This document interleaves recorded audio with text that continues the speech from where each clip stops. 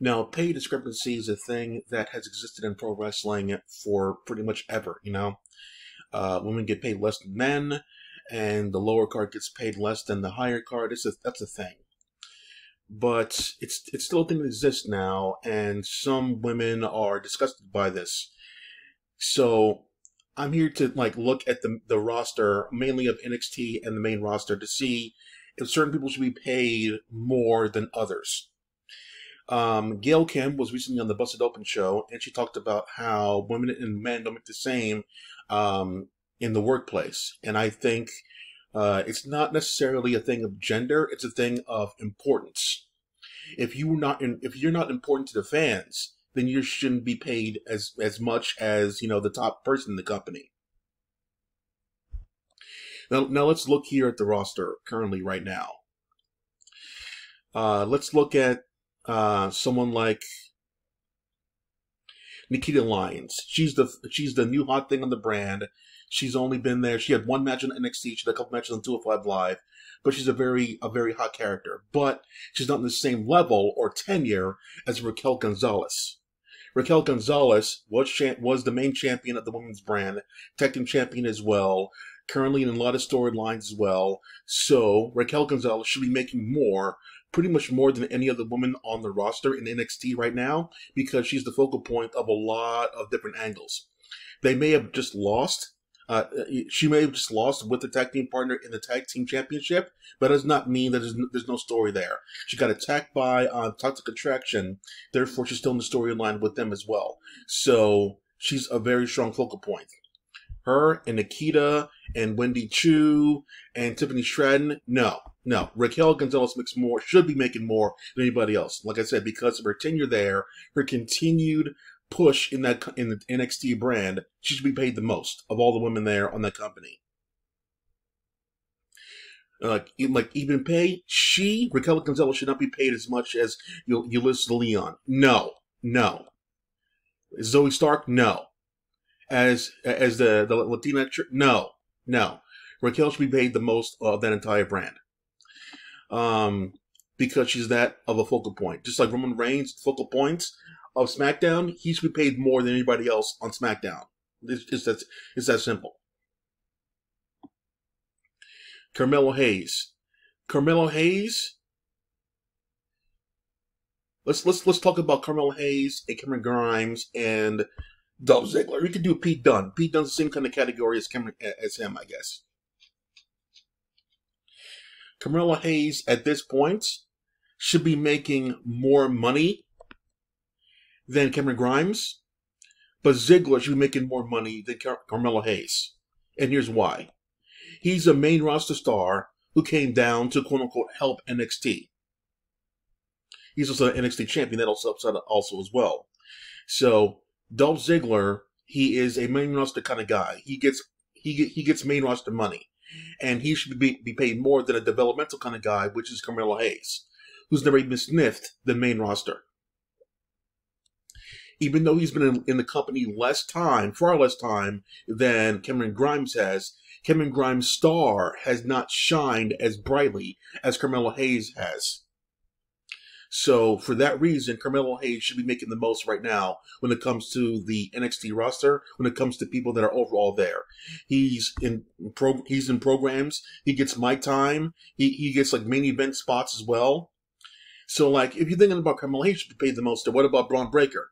Bron Breakker has not been around as long as Carmelo Hayes has, but the spotlight has shined just as brightly on both of them. And because he's in leagues with Tommaso Ciampa, who's been in the main in the NXT roster for a long time, uh, Bron Breakker should be making second place money along uh, in, in the same league as Carmelo Hayes is. So like Andre Chase should not, even though he's good, he's very funny. He's like he's a good supporting character. He should not there like that kind of stuff there. Him, Duke Hudson, um, Imperium, uh, things like that. That not even Gunther should be making as much money as Carmelo Hayes or Bron Breakker. No. Even though Gunther has, you know, Gunther Walter, what do you want to call him, has been making more money, uh, sorry, has been around the business longer than these two guys combined. Uh, Gunther, unfortunately, is new for NXT. and he, he hasn't been spotlighted by the by the company as much as Carmelo and Bron Breakker. So he should not be being paid as much. Indy Hartwell has been around longer uh, than I think him. Uh, sorry, her and him has been around the same amount of time. Indy and Cameron. So they should be making about the same. They're currently in storylines, but not the same spotlight thing. They should be making the same amount of money because they're important, but they're not like, you know, spotlighted like Carmelo Hayes or Bron Breakker or Raquel Gonzalez, that kind of stuff there. So like depending on like what the company treats you like, you should be paid accordingly so. So like, Ryback was complaining many years ago about how him and Kalisto should be paid the same, even though Kalisto was being pushed more than he was, and he was doing the job for Kalisto to make him look good. He believes that he should be paid as much as Kalisto. No, that's not true. Because the company is putting more stock into Kalisto, he should be paid more. He has he has more to lose than he does because he's in the high grace of the company. So Kalisto should be paid more. Not a lot more, just be paid more for the match. Even though, so that's that's the way it goes. Let's look at the main roster. So Apollo Crews uh, was fast tracked from NXT to the main roster, and now he's in the, the lowest of lowest rung when it comes to wrestlers in the company. Him and Akira Tozawa and Drew Gulak, same kind of role. Unfortunately, that's the kind of shit it is. Ricochet was there until last week when they gave him the title for some reason, but yeah. Um, so AJ Styles, always spotlight, should be making like one of the highest m- money. Bobby Lashley, spotlight as well. He should be making the same amount of money. The tenure, yada yada yada. He should be making a lot of money as well. Um, Edge uh, should be making the same money as AJ Styles because he's not there all the time, but AJ is, so same amount of money. So uh, Kevin Owens paid this guy the moon. He's he's great as well. MVP, second tier kind of guy. Um, not a wrestler, but really good talker. Very important for people. Uh, so that kind of stuff there. So like, so more or less, there the, the pay discrepancy should be done like that one. Uh, why is Brock there and not on SmackDown? Okay, so same thing. Okay, so he's there on SmackDown, but not okay. He's, he's on both because he's Brock fucking Lesnar. So, why the fuck? Uh, so he's like he's injured. What the fuck? Um, so such a small roster. At least they're streamlining. At least they're that one. Look, look, look, look, look, look how small the SmackDown page is compared to Raw. They make it work. And look at Raw. Then look at NXT, bro. That's a lot of fucking people. Uh, yeah, they, they mostly use everybody here. Okay, so Trick Williams and Carmelo Hayes there. Even though they're always together, he should be making not nowhere near what Carmelo Hayes makes. He's not the star spotlight guy when it comes to in ring work. Um, so like Carmelo Hayes is, he's the main guy. So Trick Williams should not make it that much. If Carmelo Hayes, let's just say, makes 300k, he should Trick Williams 80, 70k, something like that. No, you're not. You're not his level, buddy. You got the, you got a good look. You're something in the ring, and you and you got uh, good mic skills, but you're not nearly the same focal point as Carmelo Hayes.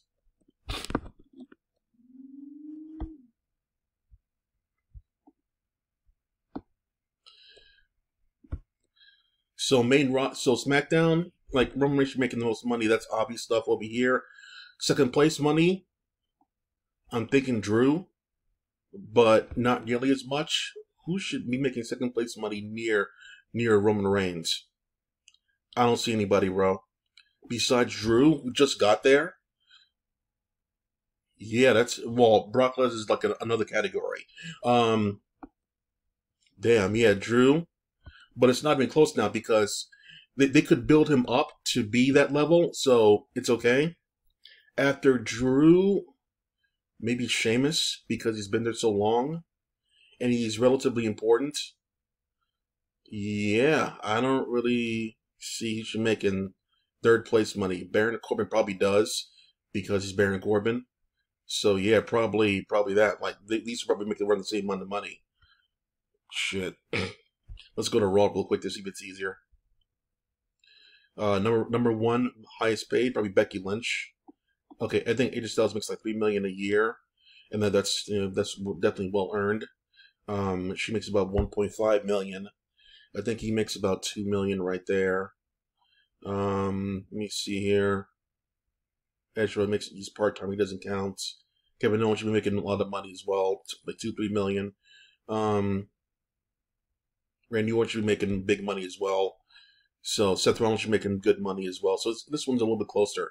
Seth, Seth, and Seth and Randy should be making the same amount of money as AJ Styles. I don't see the, the pay discrepancy being that huge between top guys on this brand compared to SmackDown, because Roman Reigns should, should be making the most money, period, of all the brands. He probably does. he goes back and forth. He's, he's not a SmackDown. All right. So, what do you think in the comments? That's it for now. Click off.